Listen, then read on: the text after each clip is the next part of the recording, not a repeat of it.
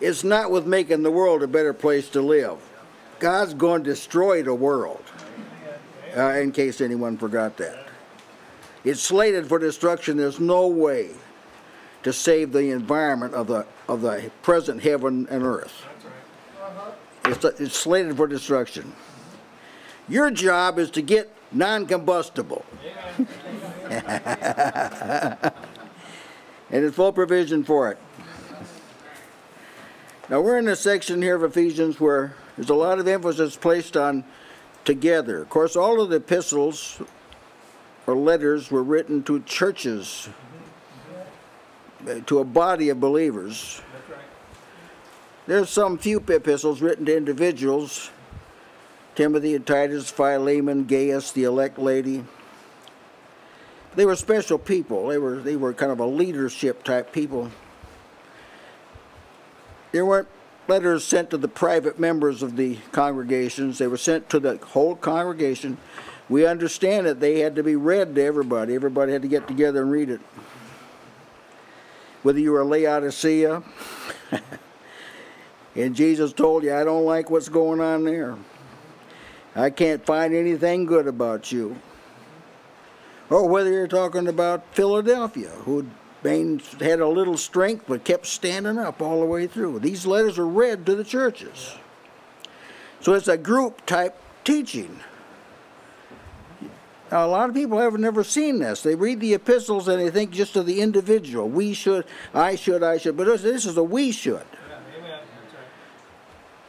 That is, this is an assembly point of view. Nobody uh, place any value in a disassembled body. Do you? You'd say that person's dead, you know. Disassembled. Well, these are meant to an assembled body. We're talking about things that go on when we're together. And if it actually happens effectively, don't worry, it'll go out.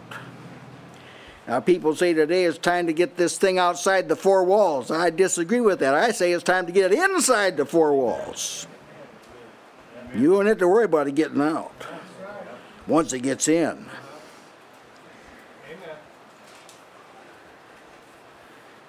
Now, as is true in everything that pertains to life and godliness and everything pertaining to God, there's an objective or a purpose or an aim for everything God does. God said to Ezekiel one time, uh, You will know that I have done nothing I have done without a cause. So there's a reason why God does everything. There are things that happen when we're together that they don't happen at other times. That doesn't say that there's nothing that happens at other times. We're not, not saying that. But there's a certain kind of thing because you've got a lot of input from different sources different members of the body of Christ. This is why the church is called Christ's body. This is how God speaks to the world. He doesn't speak to the world out of heaven with a thunder, you know. if God did speak audibly right here in Joplin tonight, there'd be a whole host of people that thought it thundered. Yeah, that's right. Yeah. Some people who had a little bit of acquaintance with God might say, well, an angel, you know. Remember that time God spoke Jesus said, glorify thy name. God spoke out of heaven. God. He said, I both glorified it, but glorify it again. Some people said, oh boy, it's really thunder. Must be a rain coming. Other people said it was an angel. Jesus said he knew who it was. This voice is for my sake, he said. But God speaks to his body. Jesus speaks to his body. That's how he talks. That's how he speaks to the world. It's how he works, through his body. He doesn't speak to the president or the Congress. This isn't how he works. Herod's got to shut up when it comes to the things of God. We're not, we're not going to Pharaoh and ask him what God said. Or Herod or Nebuchadnezzar. We're going to go to Christ's body. That's what we're talking about now in this text. Talk about Christ's body. In 1 Corinthians 12, which is speaking about Christ's body. The body's mentioned 18 times. Body. Most people read that text, they think gifts. Huh? This is what they think. Gifts. But it's about body. Amen. Just in Ephesians alone, it's mentioned, he refers to the Christ church as the body nine times. Now, the body views the saints from a functioning point of view. It's what the saints do that is emphasized in the body. It's what the saints say that's emphasized in the body. Paul approaches this subject in Romans 12 and he says that every person in Christ, he means in Christ, every person has received a measure of faith. That is a faith that's adapted to do something in particular. Then he mentions some of the gifts there in Romans 12. That's, that's Romans 12 version of 1 Corinthians 12. It's the gifts that were in Rome. And these gifts are calculated, they're meant for the body. These gifts aren't meant for the world. They're meant for the body. You can't find any place in Scripture where gifts are mentioned in connection with the world or ministry to the world. Oh no. Ministry to the body. Once the body is ministered to, it goes out into the world. That's right. Amen. We don't want the church. Matter of fact, I think a lot of missions should put a, should put a hold on it. I think a lot of evangelism should be stopped till the church is converted. That's the biggest mission field in the world, the church, the professed church I'm talking about. All right, Paul's addressing this here. If you build up Christ's body, the last thing you got to worry about, if Christ's body is going to do anything, that's the last thing you have to worry about. You can persecute, scatter the people of God abroad, and they'll go everywhere preaching the word Amen. when they're built up. Amen. Now, the body, as it gathers together, this is particularly tailored for the saints. The assembly is not really tailored for the world. It doesn't mean the world, people from the world can't come in. That's not what we're saying. But they ought to really feel bad when they do. They ought to feel like they are missing something when they do. Like that man Paul said came into the Corinthian church, you know, he said he come in and everybody's prophesying. He said, if everybody speaks in tongues, he think you're a bunch of nuts. That's what he said. You all prophesying, God speaking through the members. The members didn't know about this person. God knew about this person. Here's the members, they're speaking. Speaking of edification, exhortation, and comfort, and this man is convinced of all, falls down on his face, and says, God is in you of a truth. What was that? It's the body. That's the body. Ministry. Now there's I'm going to summarize briefly the purpose for building up the body of Christ. Why? Listen, the only people in the world Jesus mediates or intercedes for is the church. The only people God gives the Holy Spirit to are the saved people. Hmm? The only people angels minister to are those who are heirs of salvation. See, these are, now this is all taught in Scripture. It's plain enough. Because God, when He works through His members, He addresses all these other things that the modern church is trying to do without a built up body. And what we got is a loud testimony to what the modern church has, which at Pertinier approximates zero. So we're on for, we're on needful territory here, building up the body of Christ. Now I'm going to mention this in order of perceived priority. First, the church is being prepared to be a dwelling place for God. We're built up for a habitation of God through the Spirit. And in the Revelation says God Himself will be with him. So that's number one. Number one. the church or the body of Christ is being prepared to be a suitable place for God to dwell in. Second, the church is a depository for the fullness of Christ. The church is called the body, which is the fullness of Him that fills all in all. That is to say, Jesus taking what He has and He's pouring it out without it diminishing any in Him. He's pouring it out into His people, into the body. That's what Ephesians teaches. The body is the fullness. That's where, if Jesus is going to give anything, that's where he's going to give it. That's the second reason. The third is she's being prepared to be the bride of Christ. The church is what Jesus is going to get.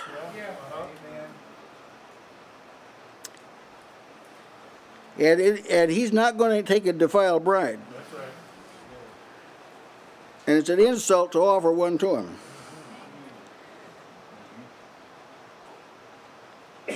And fourth, this is the reason for the church or the body. The fourth is God is making known his manifold or diverse wisdom through the church. This is Ephesians 3 9 and 10. So God is teaching heavenly personalities about his wisdom that simply it couldn't be it can't be known without what he's doing in the church. God is doing something in the church that's never been done among angels. It's never been done among cherubim and seraphim.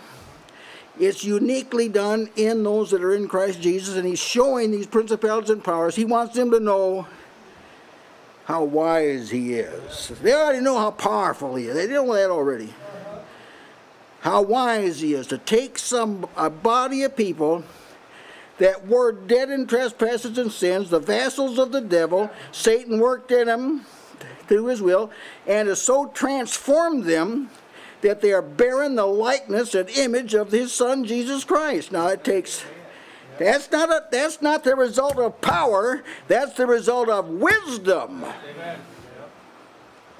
So I tell you, God needs to be glorified for his wisdom. Yes. Um, you said that Christ is not going to accept a defiled bride. That reminded me of Babylon. Uh-huh. Um, he's not going to accept that type um, at all. It's um, defiled. He's going to, um, he won't accept a whore. He wants what is pure and That's what is right. right. Yes, amen. Amen. Amen. All right, that's the fourth thing. This is the last thing to shine his lights in the world. That's last on the agenda. Because if the other first four aren't being done, there's no light to shine.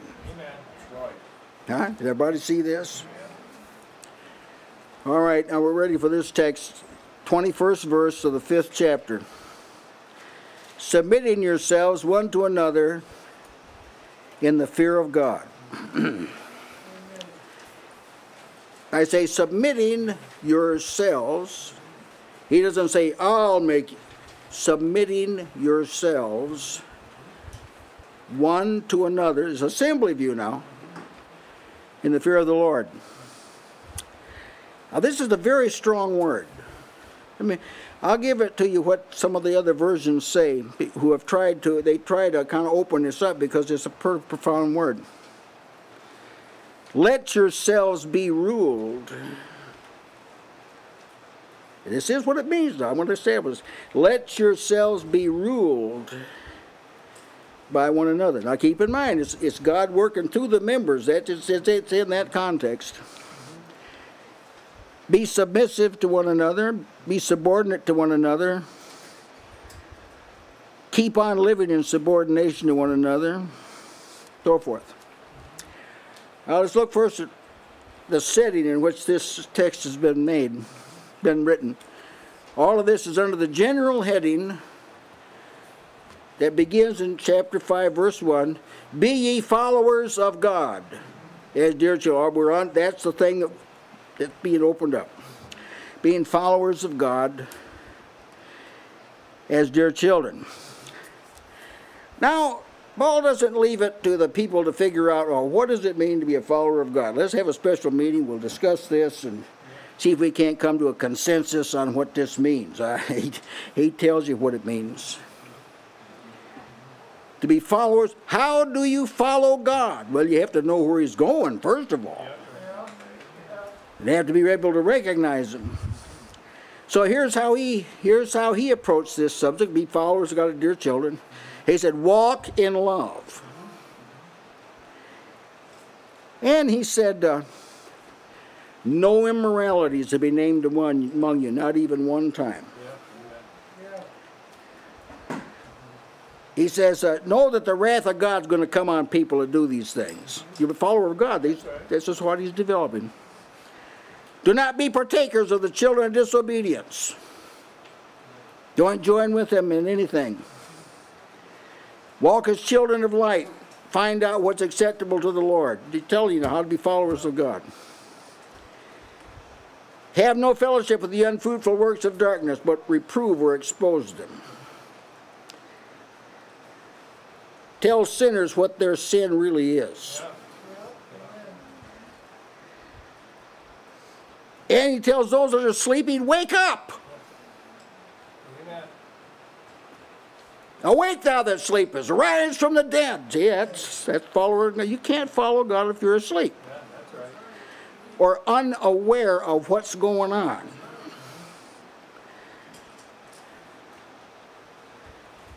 Walk circumspectly. It's alert and soberly. You're, you're in the enemy's territory. Never forget it. This is the devil's the God of this world. That's where you're at. Walk carefully. Redeem the time. Buy up the time for God. Use your time for Him. Make the most of every opportunity.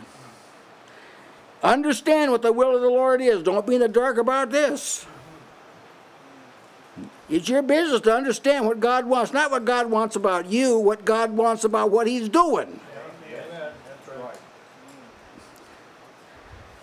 And um, do not indulge in things that distort your thinking. Be not drunk. He mentions wine here, but there's other things that make people drunk. There's some music that makes people drunk. They can't think straight. There's some people that have spiritual experiences that make them drunk and they don't know what's going on. Let me tell you, you are, I know people say drunk in the spirit, but that's what they say. God never said drunk in the spirit. Amen. Somebody better use their mind and look up what drunk means. Drunk means you're staggering around. Drunk means you don't know how to talk. Drunk means you don't know how to think. And the Spirit, He works just the opposite. He doesn't make you drunk, He makes you alert. Amen. And able to walk straight and able to speak right. Makes you sober sober, be filled with the Spirit.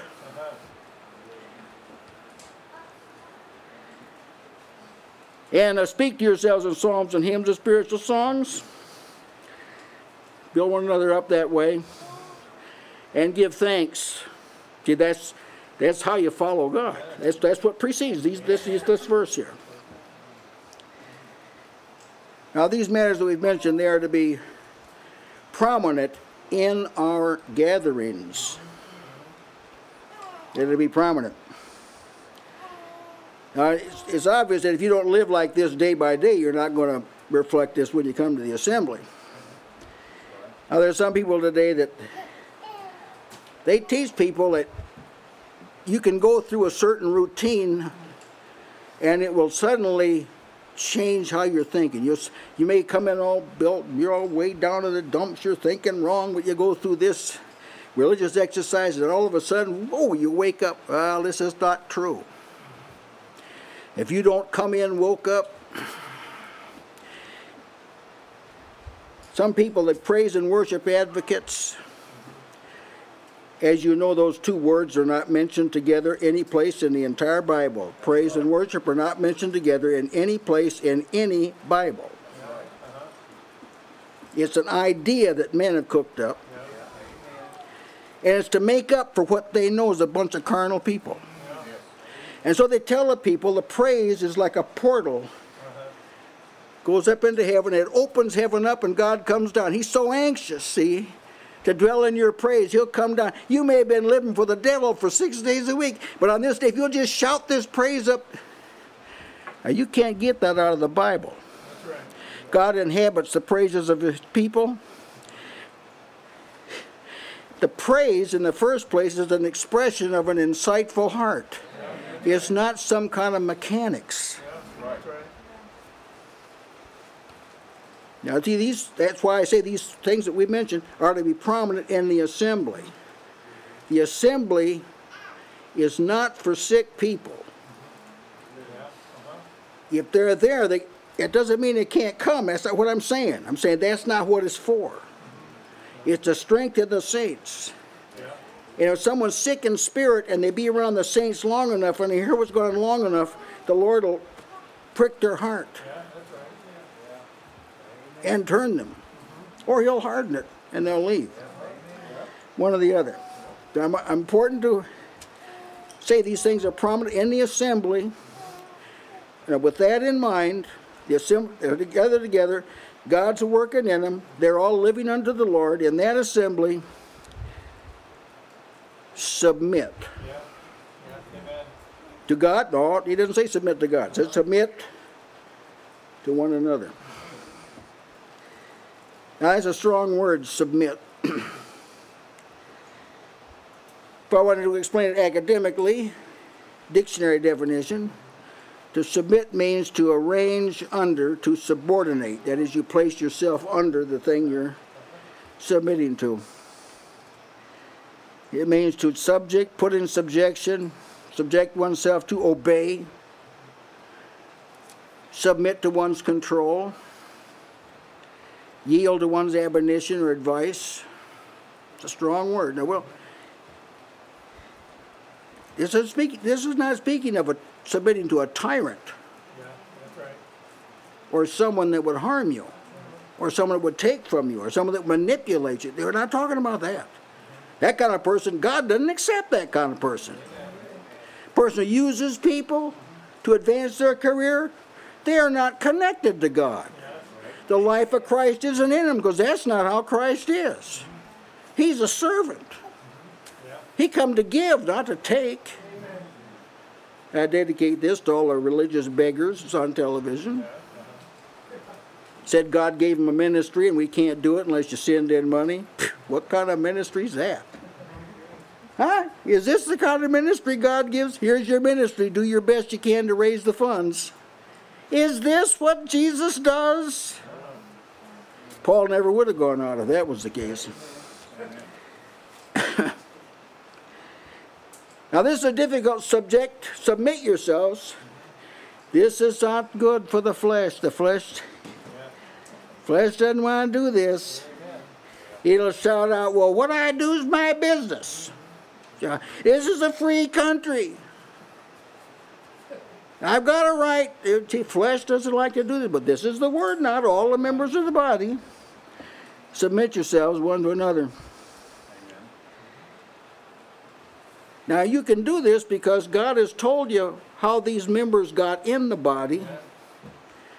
It's 1 Corinthians 12, 18. God hath placed the members in the body as it hath pleased him.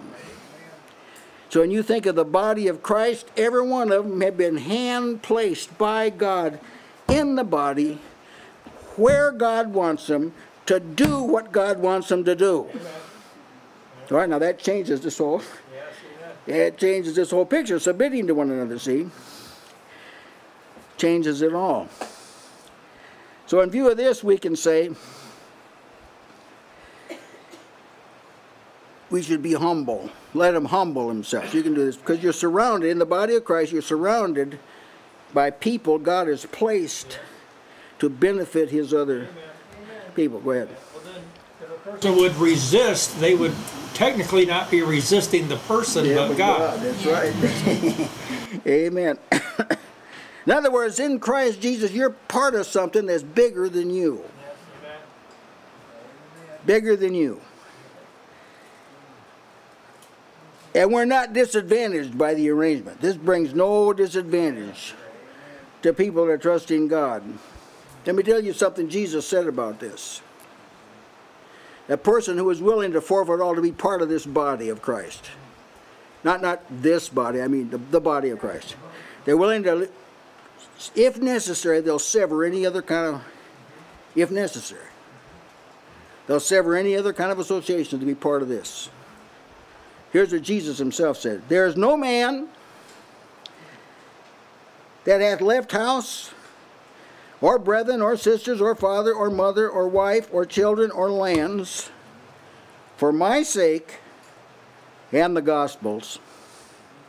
But he shall receive a hundredfold now in this time houses and brethren and sisters and mothers and children and lands with persecutions, and in the world to come, eternal life. now, having been placed in the body of Christ, you've suddenly come into a tremendous wealth. Houses.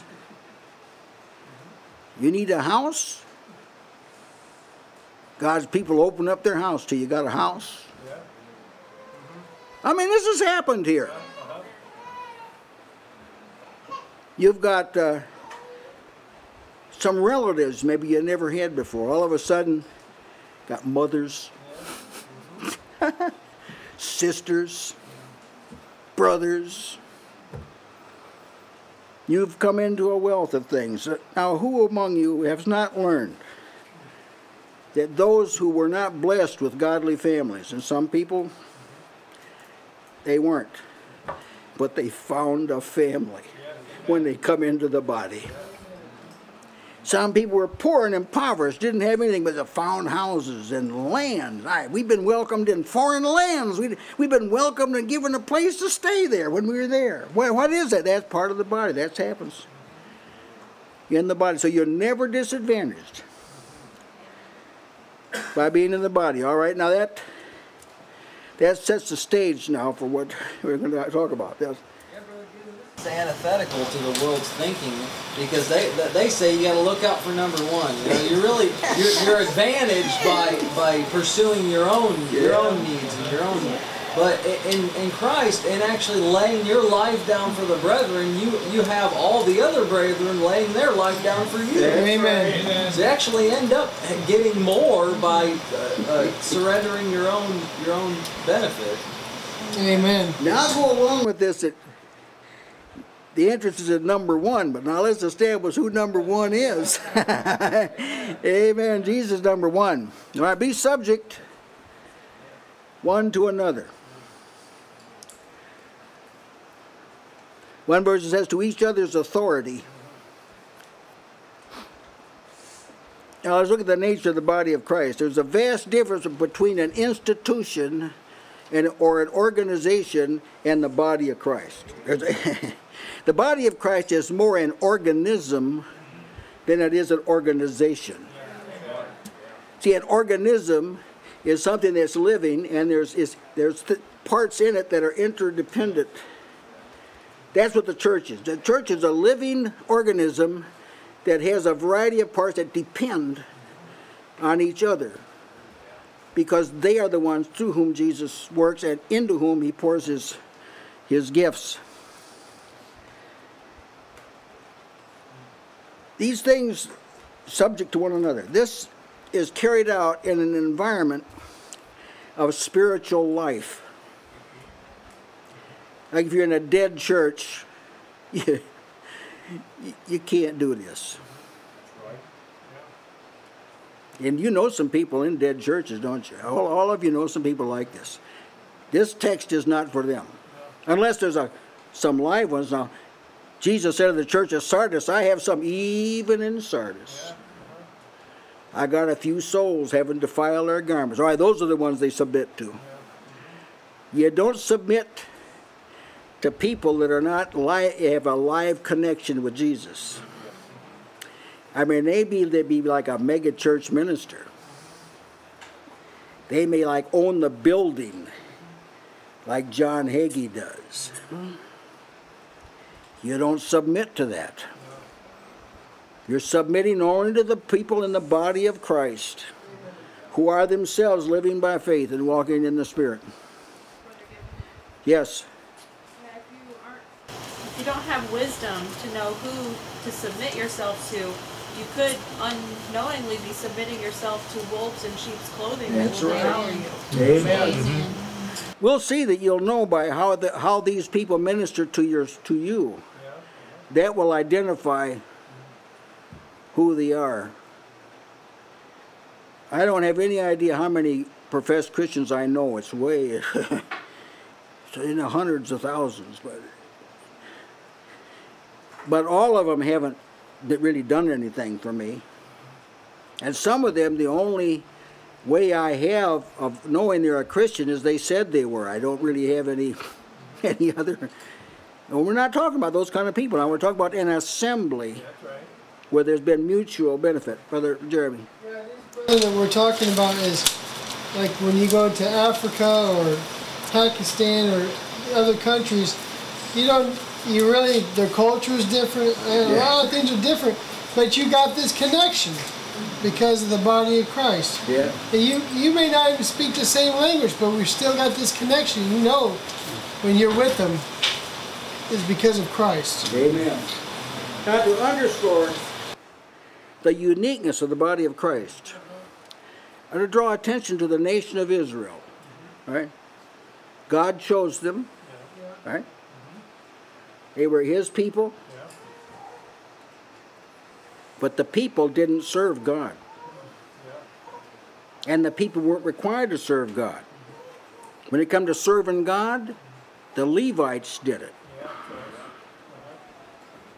That's what God said. I separated the Levites. I've separated them. They're going to do the service. Nobody else is welcomed beyond the outer wall of this tabernacle. Did you know that? No Israelite could meander around in the outer court. you stayed outside when you brought a gift to be offered. You set, brought it to the gate, and the priests come out and got it. But the priests are the ones who serve God. If you wanted to utter a prayer, you didn't like bend your knee in the tent and pray. You went to Moses or one of the Levites and they did the praying for you. That's how it was under the law now. The temple service. If you're not familiar with the scriptures, I give you some text here, but you, this is the way it was. It was not like it is in Christ. They were to be considerate of one another, provide for one another. But you know, nowhere were they told to submit. I mean, they don't be get submitting to Achan. I mean, or Korah. They see this. This is a different kind of arrangement in Christ. It's a different kind of an arrangement. Once Jesus put sin away, this changed the whole the whole landscape. Once Satan's head was bruised, he was destroyed. Hebrews 2.14 says, through death, Jesus destroyed the devil. Once Satan was destroyed, once principalities and powers were plundered, once the world was reconciled to God, once sin problem had been settled, that changed the whole. In that context, we can read what we're reading now.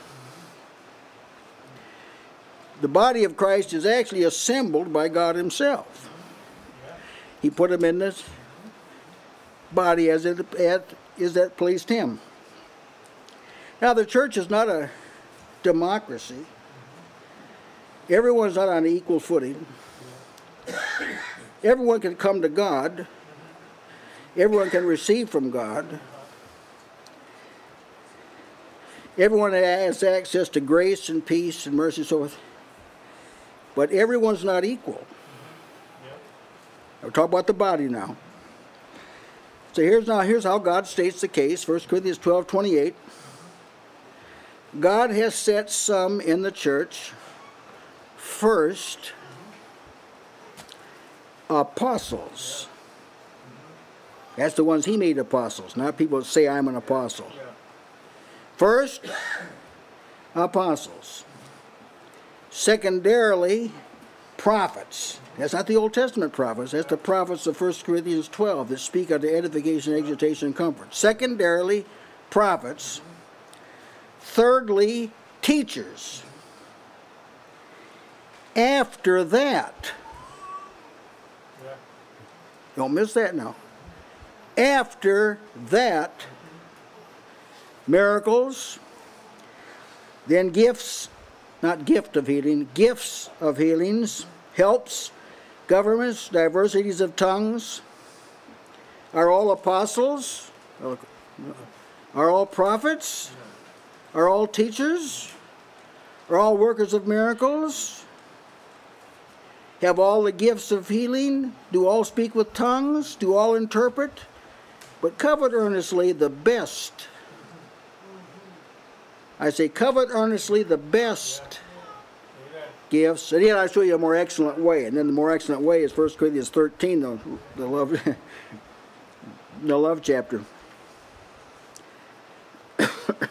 the best gifts are the ones that give the most advantage to the saints apostles, prophets, teachers.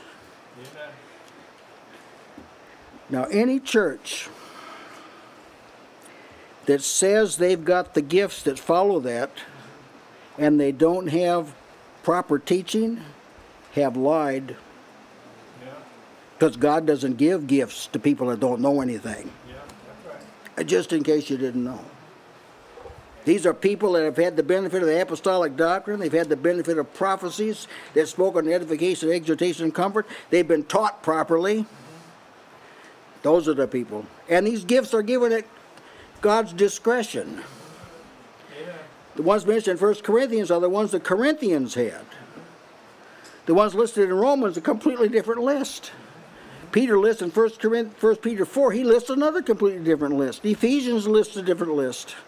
The gifts that he mentions are the gifts that were there at that church. And these gifts that were at Corinth did it no good. They couldn't figure out it was wrong to have a fornicator among them. Good land, I mean, that's kind of ABC stuff, isn't it? But all their gifts. They couldn't figure it out. They didn't, they didn't know it was wrong to sue one another.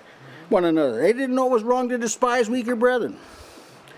They conducted themselves so deplorably at the Lord's table, God killed some of them and made others of them sick. But they came behind in no gift.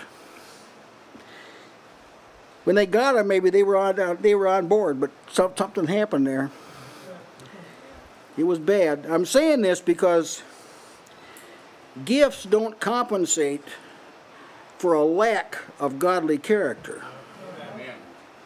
They do not do it. Now, every member is involved in these gifts, and the purpose is for the church to edify itself in love. That's Ephesians 4 11 through 16. So, when it says submit yourselves one to another, that's every member. It doesn't make a difference if they're 10 years old. It doesn't say now the 10 year olds submit to the leader of the youth group. Everyone is subject to everyone else that's in the body of Christ. That is when they're when they're when they're doing what God has endued them to do. That's what we're saying. And the Lord manages this whole this whole process. 1 Corinthians 12 4 says, There are diversities of gifts, but the same Spirit. So the Spirit, He distributes the gifts. Then you read in verse 5 And there are differences of administrations, but the same Lord who administers, makes them work, in other words. And there are differing activities. Everyone isn't like doing the same thing. But God manages that. There are a diversity of operations, but it is the same God that works all in all. So here's, you see how this whole process is managed. When you come into the body, God put the members in the body. Holy Spirit distributed to every person an appropriate ability. The Lord Jesus Christ is administrating it. And God is down to the detail level making everything happen. Now, it's in that context that we submit, sub, submit to one another, in that context. to submit to one another, knowing you do it, knowing God put them members in the body, knowing God speaking to them, we're intentionally receiving what Jesus is ministering. Jesus is pouring it out by means of the gifts who minister to the body. So how you react to what that member does is really how you're reacting Yes. to Jesus. Amen. Now let's look at this a little further. When some member of the body speaks to us in love, we're to give him our ears. We're to give him our mind. Give him our attention. We submit to that person. Let him govern us. What he or she's saying, assuming it's from God, let that don't be reading and doing something else during that time. See, in submitting to one another, we're intentionally getting from Jesus something we personally, quite frankly, didn't get ourselves. We're getting it from this other right. other person through whom he's speaking. So we don't see each other as neighbors or friends or relatives. That's not how we consider each other. It doesn't say submit yourselves to your relatives. That's what, that's not what it says. Submit yourselves to one another, to the body, members of the body of Christ.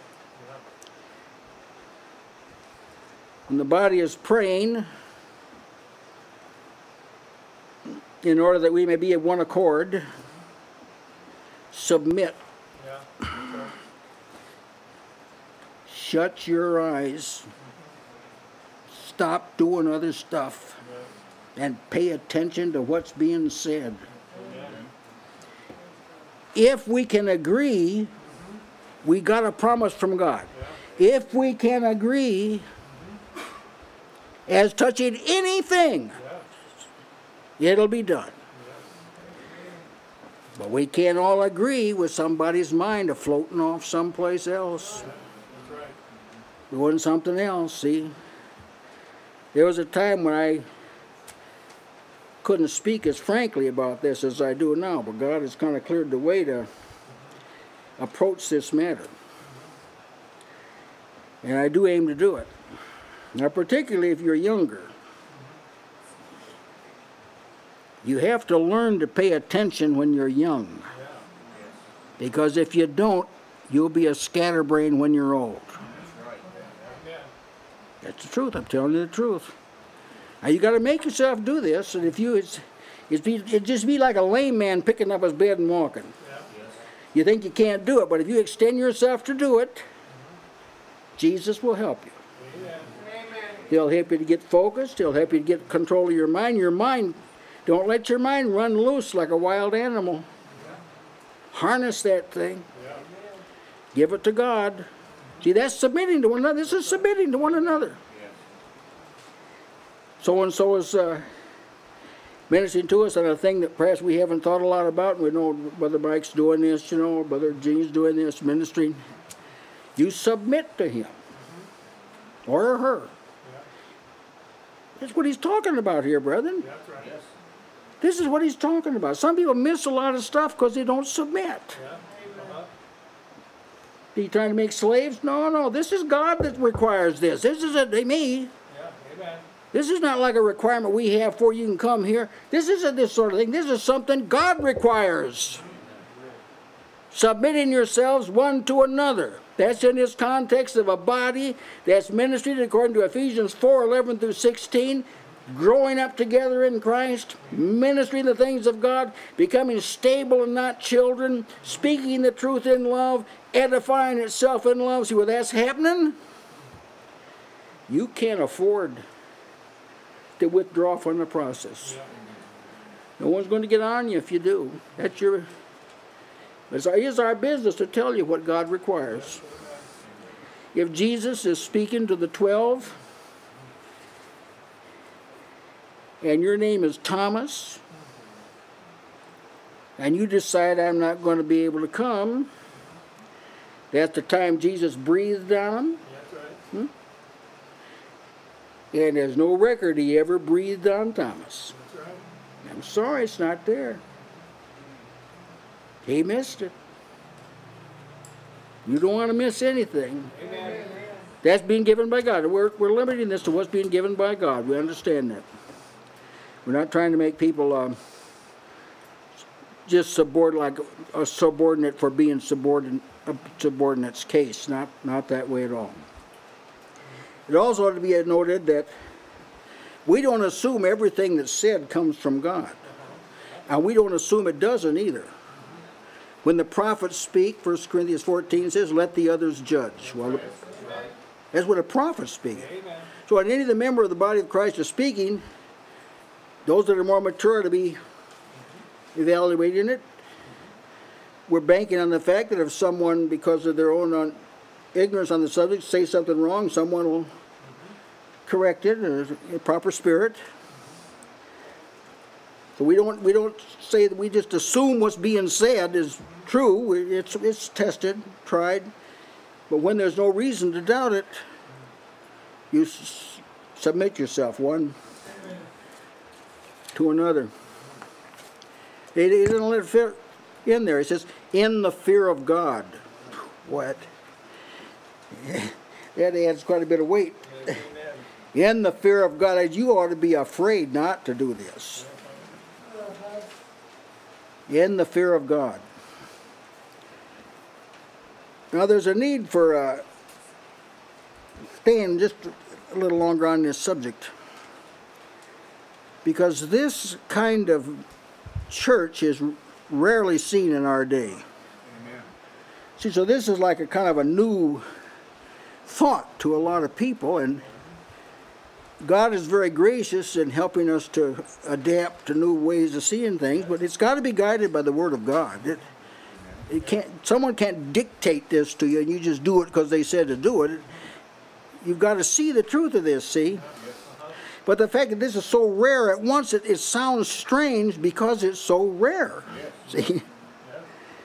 And professing Bible churches Yeah, that function in this matter will be seen as cults. that's right. Mm-hmm. They'll be called a cult That's because they right. function as a body, as Yeah. one, and they're not used to that. They're not used to seeing that. That's that's oddball. That's out of out of focus.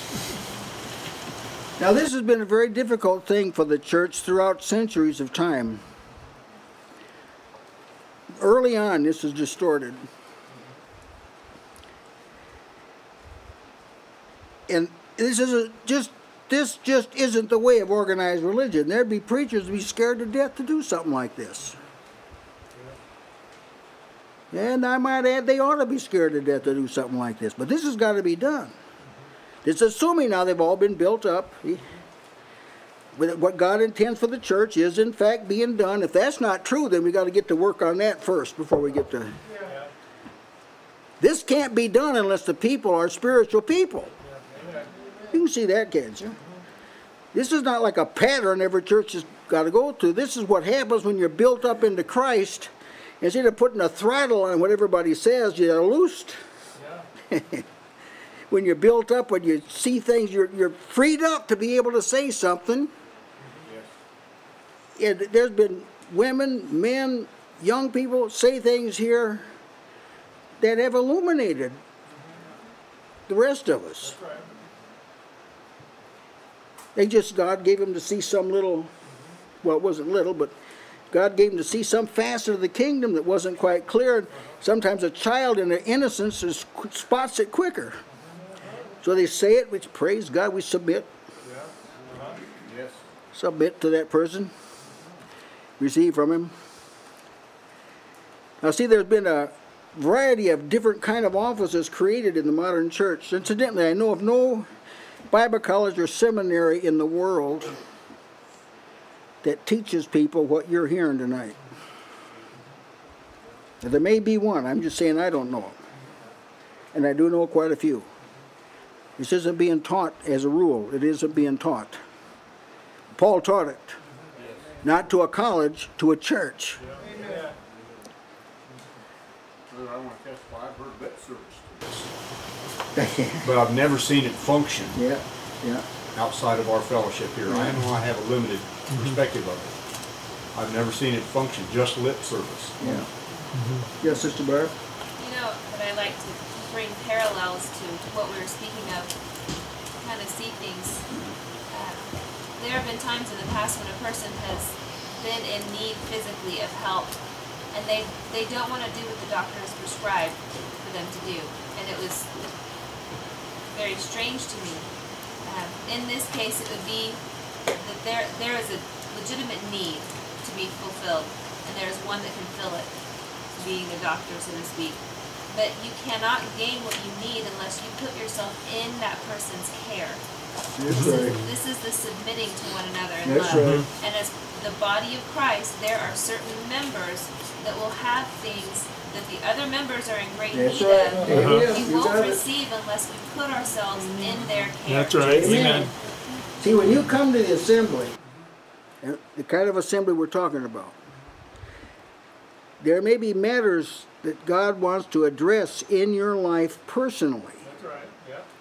But he may not do it in your prayer chamber. Uh-huh.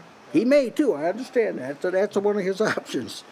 But he while you're in the assembly, somebody, not knowing what your situation will speak on that, you know, you think somebody told them, you know. They didn't know. They spoke it out, and God ministered to what you needed to hear through His body, and they themselves were unaware of it. Brother Matthew. Of taking the children and putting them in their own separate class, or those who won't receive what a woman says just because she's a woman. In the light of the purpose of God in Christ Jesus, there are, there are things that every one of these individual members has that we have need of. Amen. Come, Tony. It's a good word about being alert, submitting to whoever's uh, trying to minister at the time, being alert so you can hear it. I tell you, this is uh, something.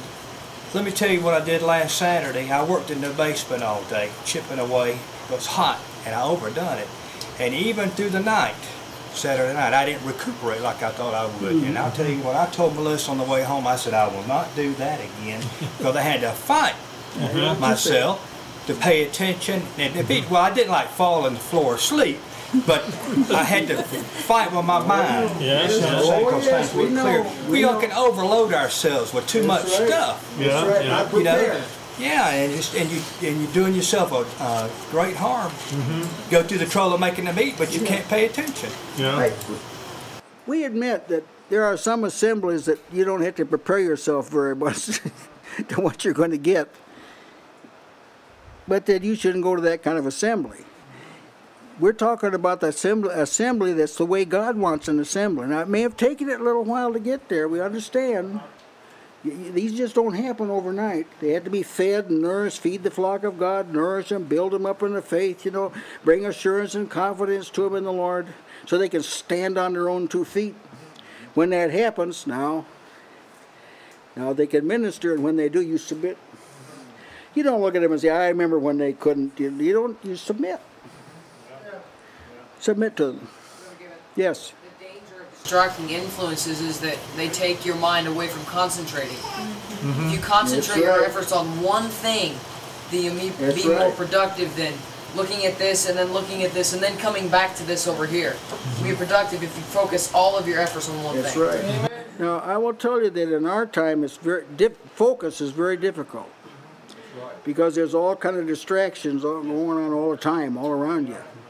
So it's difficult. So you have to learn to focus, concentrate.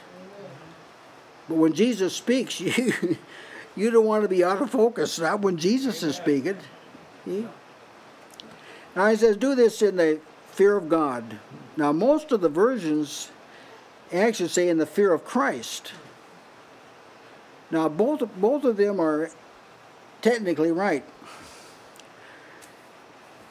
In order of priority, God, in the order of who's ministering, Christ. And Jesus covered this when he said, He that hears, he that receives you receives him that sent me. And when the word Christ, Jesus is not your Christ, He's God's Christ. He's your Lord, your Savior. He's God's Son and God's Christ. So, see, both uh, out of fear of Christ, fear of God, both of them are technically right. They're both saying the same thing. One is saying from the standpoint, fear of God, who orchestrated the whole thing, fear of Christ, who God's working through Christ. So bo- both of them are right. now, the word fear, it means just what it says.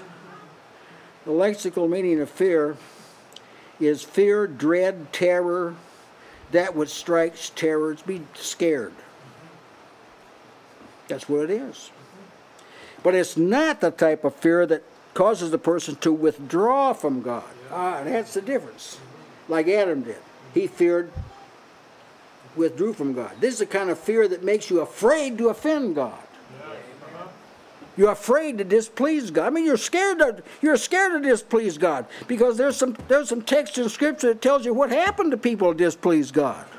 God spelled this out in Scripture for you. That if a person didn't please Him, so you'd be scared. And sometimes this kind of fear will get done what other approaches won't get done. But notice he doesn't connect this with what Jesus has said. He connects this with one another. Mm-hmm. The- That's, that's the thing that makes this arresting statement. You submit yourself to one another in the fear of God. Why? Because God's the one that's working through those members.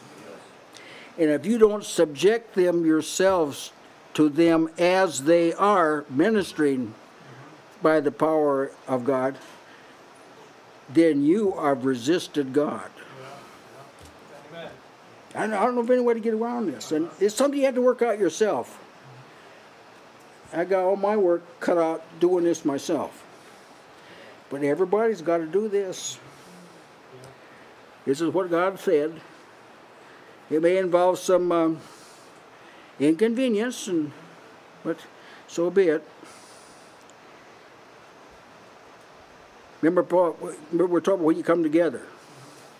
This is what Paul is talking about when he said to the Thessalonians, "Comfort yourselves together." and edify one another, even as also ye do. That's saying the same thing. It's just looking at it from the result viewpoint. That if you submit yourself, see, a person who's exercising their gift, he's like ruling in that matter. He's like a king in that. He's a steward in that. In that matter, that's how the kingdom of God in, in Christ is differs from the kingdom of Israel in Israel, the people themselves, they weren't the stewards, just a special tribe was the stewards.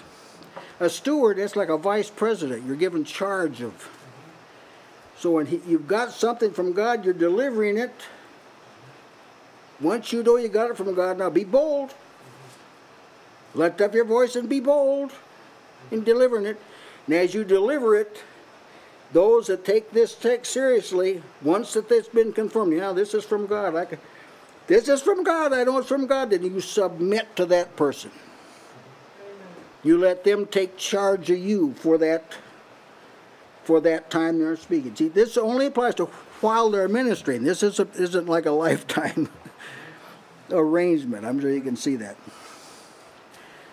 Committing the fear of God. Jesus, well, Paul, Paul told the Corinthians when they were gathered together, they were with the power of Christ. 1 Corinthians 5 4. And Jesus said, with two or more gathered, there am I. I'm in the midst. Here's what it boils down to. The individual members must be brought to make contact with the head. By contact, I mean you're connected to the head. So the head can work through that member. Here's how Paul stated it in Colossians 2.19.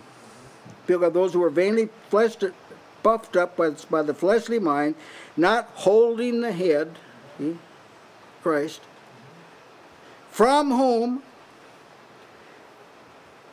all the body, by joints and bands, that's where the body joints and bands, where they come together, by joints and bands, having nourishment ministered, and knit together. See, here's it, connected to the head. Head's flowing down through here. As you connect with other people, it, it knits the body together. But if a person doesn't submit, this interferes with the entire body.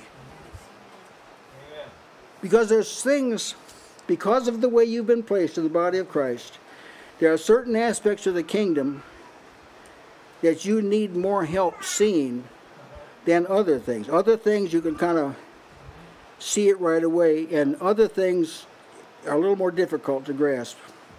But you can get it from one of the members of the body. This, this is how it's arranged. It's arranged this way. It isn't because you're dull or deficient or unlearned. That, that isn't what the cause of it is. The cause of it is the way God has put the body together. He's put the body together so you've, there's things you've got to receive from the other members of the body because otherwise you're expecting Jesus to dump the whole thing into you and he, you're too little. Your vessel's too small. Christ can contain the whole. You can only contain a part. But where you've got a lot of parts, well, you can see. Then God will enlarge your heart so you can hold more. Uh, talked about the body until we come into the stature and the fullness of Christ. That's right. That can only be represented in the aggregate. Amen. Well, I think I'll, I'll close there. You, I'm, I'm sure you can see kind of the drift of where we're, where we're going with this, but it's, it's very marvelous to see how the whole thing works together. Yeah, Sister Nikki.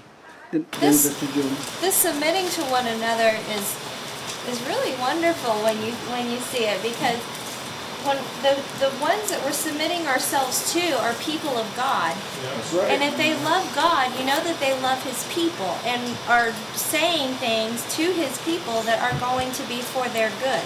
So it really, even if it's um, rejoicing with each other, or on the other spectrum, if it's a rebuke, there's no cause to be offended because you know that they're saying whatever it is, it's for your good. Yeah. And so we can willingly submit ourselves to that and be thankful to the Lord for showing us Amen. and directing us. That's it. Amen. Sister June.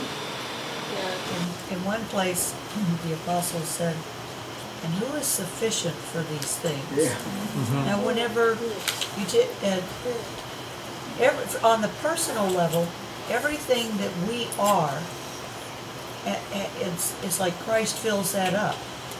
But see, we just have a measure of the stature That's of right. Christ. That's right. We're not sufficient to show forth the glories of God just in ourselves. Yeah. It's too big.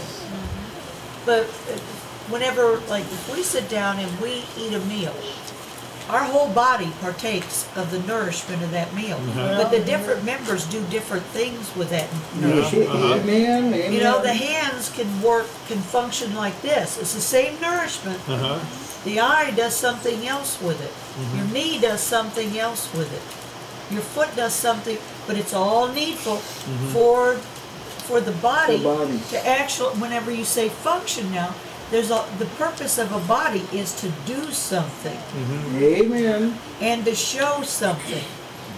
And so it, all of it is needed. If God is going to be properly glorified, He's putting us in the body severally as He will mm-hmm. so that He is seen. Yeah. Yeah. And we see the we see the benefit of one another. It's like we get to partake of the whole thing without having to be the whole thing. That's a big blessing. Amen. Yes, Brother The, uh, that, that's an excellent thought, that each member is given a rule in that particular, that particular slot. Yeah. That- That's, uh, and kind of, I thought about reigning in life in Christ. and That's could- right. That's part of that. That's right. Being able to Amen. reign in that one, that exclusive little trust. Amen. Amen. Sister Judith? Now, on the heels of what Sister June just said, I, she was talking, I thought about what you said. The body of Christ is more of an organism than it is an organization. Mm-hmm. See, an organization, there are many parts to it, but there's not as much unity as there is in an organism. That's right. An organism, is it's all working for the same purpose. See, in an organization, you can have many different departments that are working toward different goals that may be going two totally different directions. An organism is working toward one common goal. That's right. And the church, that's what the Church of Christ is doing. We're working to be spotless for, to be Christ's body. Amen. Amen. Um, I was thinking if you submit yourself to the world, it will always bring you down. Yeah. But if you submit to the body and Christ, it will always bring you up. Amen. Amen. Where I said, you submit to the world, it'll always bring you down. Submit to the body, it'll bring you up. Amen. Anyone else tonight? All right, we'll have a word of prayer. Our dear Heavenly Father, we thank you for placing us in your Son's body, where it has pleased you. Now, Lord, we want ourselves to know where we've been placed, to be confident of it, and to minister effectively in that capacity. We ask for your grace and your mercy to accomplish this. And if it's difficult for any of us to submit to one another, we ask that you would teach us how to do this knowing that we will not be put to any disadvantage. No one person will be exalted out of measure because of this, but you yourself will be glorified. We give you thanks for this arrangement in Jesus Christ. Amen.